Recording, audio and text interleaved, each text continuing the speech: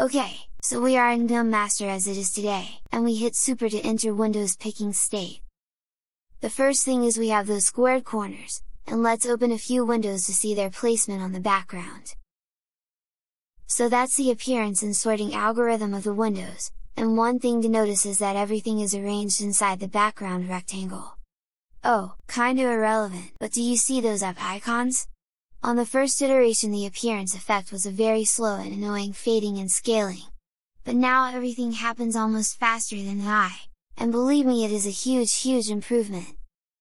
Anyway, I'm just moving the windows around, and take notes of their position, scaling, and title labels, so you can compare later. That's everything from master, and if something isn't on master is like God, it doesn't even exist! So we have three pull requests. The first is on Mutter, and it adds rounded corners capabilities on background. The second is on shell, and it basically provides the UI hooks for the rounded corners, plus it changes the alignment of the windows. So it should be something like on this image, and I will show it in a video in a bit.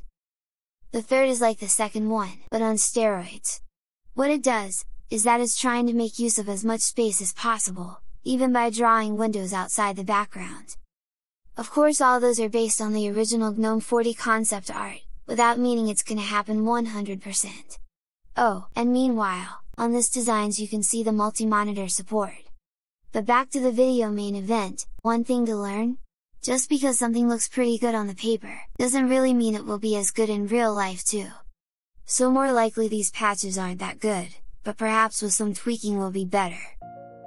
In any case, what you see is what you get and thank you for watching yet another super lazy video.